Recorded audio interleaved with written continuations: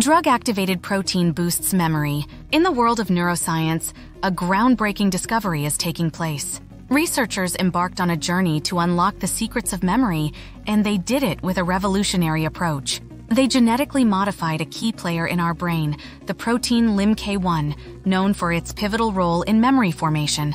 But here's where the magic happens. They've introduced a molecular switch that can be activated using a simple drug, rapamycin.